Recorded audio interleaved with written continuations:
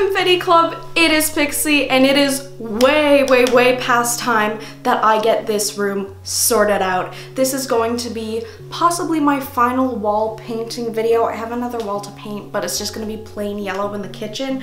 Um, so this is my final fun accent wall.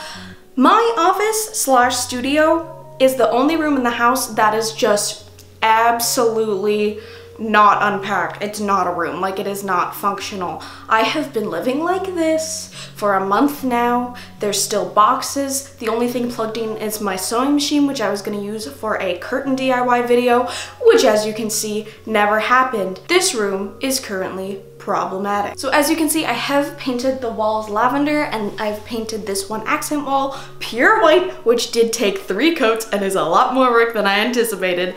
But I'm gonna put even more unanticipated work into it. I guess that doesn't make sense because I am anticipating that it's going to be more work than I anticipated. I'm about to tape a wall for probably like 45 minutes. If you guys saw my previous uh, red, pink, Valentine candy stripe wall painting whatever video, I'm gonna be doing pretty much that same technique, but I'm doing a whole different design. Instead of pink and red, I'm doing uh, rainbow, and instead of the varying widths of lines, they're all gonna be little pinstripes with just a little bit more white in between each one. I'm super excited. Oh my god, when I finally paint this wall, that means I can take the tarp off the floor. That means I can actually put the couch against the wall. I can actually build my Ikea cutting table that I bought in like February for this room. That's in this closet. That is a disaster. This closet is full of the rest of the stuff that's gonna be in this room when this room is a room and not just a couch with like a hammer on it and my cat's litter box and like paint on the tarp on on the floor. So yes, this is going to be a fun transformation paint with me DIY goddess time-lapse type video. Hope you enjoy. And I guess I'm just gonna start taping my friggin' life away. The last video I did, I definitely did more of a vlog style than a tutorial, but I wanna make this one more of a tutorial, but a fun tutorial with cats. For this project, you are going to need a pencil, of some sort for marking walls. You can use a ruler, a yardstick, or a tape measure like this one. Yoink, yoink. I like to have a screwdriver for taking off light plates and that sort of thing, and also this one comes in handy for opening paint cans. And I like to have a hammer also for hammering the paint cans back down, but it's better to have a mallet for that. Nina, do not hammer. Oh! And depending on your design, you're gonna need lots and lots, or perhaps less than lots, of painter's tape. I have two rolls left over here, and I think that's gonna be enough. Pro tip, I find that the green version has been a lot better than the blue version. Doesn't stick sometimes. Hi, you're beautiful. You're beautiful. Oh my god. If you're short like me, or I guess if you're, I guess, shorter than seven feet tall, um, you're gonna need a ladder or a step stool of some sort, and of course, your paint of choice and paint dishes and paint roly rollers. So these are all colors that I have used previously in my house. Each of these is in the rainbow downstairs and then of course this is the rest of the walls in here. This is my kitchen and this this is a lot of places. I have like extremely varying amounts of each, of course, because like the pink was a whole room and then a whole wall in the living room. The green was literally just that one stripe. I could have gotten a quart of green. I don't, I, you know, that was an oversight. But, um, since I'm just doing thin pinstripes, I think I'm gonna be okay. Hello, this is a very high angle. It's also really handy to have a level as well. This level also has a ruler on the side of it. I believe it's a meter, so that can be handy, but it's not super required. But if you don't trust yourself and you want your lines to be straight as hell, then go for it. So the first big decision you have to make is how wide you want your lines to be. And I have not done this yet, so let's do it together. I feel like two inches per stripe is good one, two, three, four inches in between. And actually what I did when I did my pink and red wall, which is a little bit more complicated of a design from this one just with the varying um, widths, I actually took my ratio that I had in my head and I did it on paper but in millimeters or centimeters to kind of see how it would look. But I feel like the 2-4 is a good ratio for me.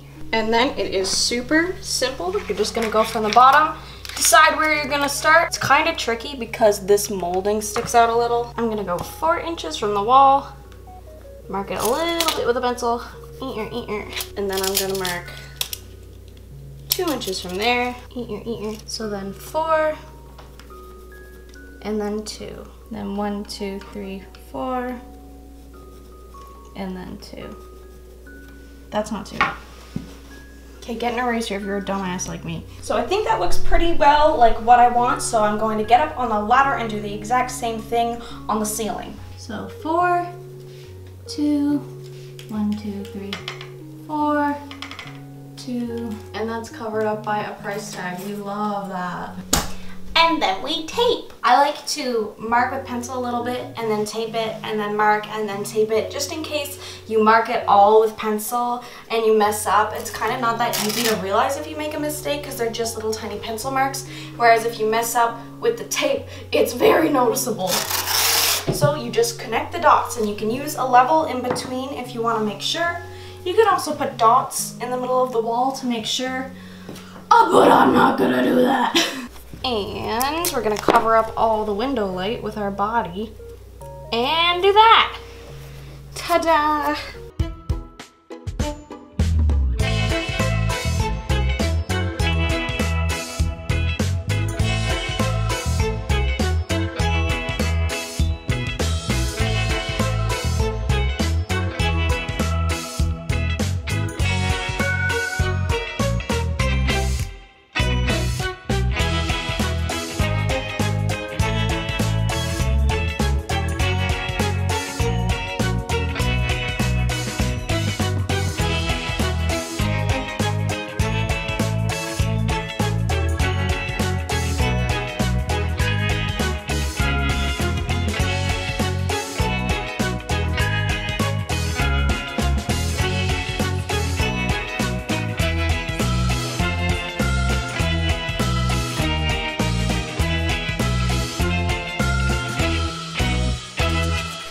Okay, I was so determined to film me taping this entire wall that I came back three separate days and put on the same dress to try to make it look like it was one day and I had to go out and buy more tape. But uh, I guess this is an entire roll of painter's tape and uh, she's not done. So I'm gonna run out and grab that last bit and then we're just gonna cut to me painting.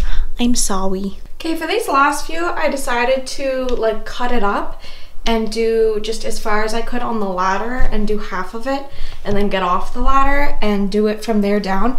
It is a little tricky lining them up. Like that's why I didn't think to do it before because I was like, oh, but there's more opportunity to like leak the paint in between or something. But honestly, I think it went faster. So if you want to do this, maybe try both ways and see what you like.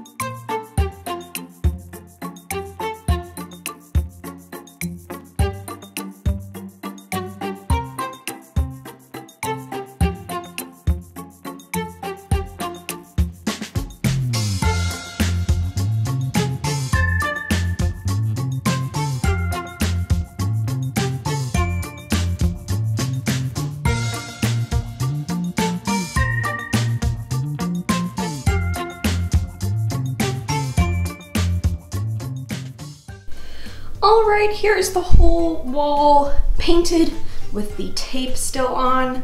That was super fun. I am so excited about how it looks and it will be super cool to see it, of course, without the tape. I think this section with the lime green tape actually looks kind of cool. Like, I almost wish there were lime green stripes or like some certain color stripe around them, but that would take friggin' forever. So I'm happy with this. Now it is time for by far the most satisfying part, which is taking all of the tape off and seeing the finished result.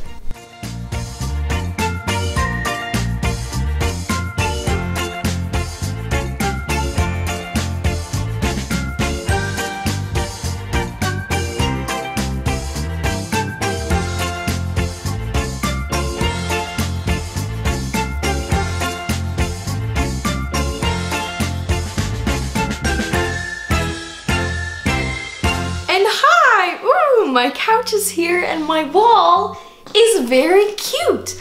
Um, this is where I'm hoping to have my main filming place. This hopefully should be my main like sit down film area.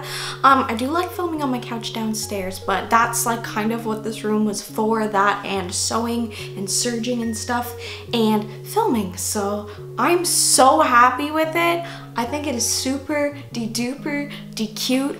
Um, that was an insane amount of time and sweat and effort. I would definitely recommend uh, hiring a friend if you have one, um, just because going up and down the ladder this many teeny tiny times, so it's like twice for each one, it's a lot, but hey, it's worth it. This is her favorite couch to hang out on. I'm sorry, man. Wow. She's a twisty girl today. Yeah, let me know um, in the comments below, what is your favorite wall in my house? Um, this I think might be my new favorite wall. I do like my bedroom and I do like the rainbow accent wall downstairs, but like this just this is exactly how I imagined it and I'm really, really happy with it. And I think it looks really nice with the purple too. So yay! This video's Future Confetti Club member is Accio Bambi on Instagram. You are so cute! Uh, rocking this amazing yellow X pink Luke, which I also have been enjoying if you saw the outfit I wore to tape the wall. Yellow and pink, pink lemonade, let's go team. Looking so, so cute in the Go Get 'em Sweetheart tee. You look like just the happiest little sunshine in the world. Are those gummy bears or gummy keys on your necklace? Those are freaking cool. You have the, the white fishnet tights that are super cool. Hey, I have those irregular choice earrings, I think. Is that what they are? I can't see, but you're cute as hell. Thank you so much for your support. You are rocking it and I love you. I love you guys so, so much and I will see you in the next video, which is not this one uh, because this one is over and I am gonna be in London in a couple of days. I'm not sure if you caught that, but um, I am going on a trip to London, UK, sponsored by EA. So um, I will have some London vlogs. I'm meeting some internet friends I've had for years that I've never met in person. Um, so my upload schedule might be a little wonky as it already has been. You guys know I missed last Saturday. I'm very sorry. Um, but I have a lot of stuff planned. I just need the time to do it. So I love you so, so much and I will see you in the next video, which is not this one because this one's over and my phone's on the floor. Bye!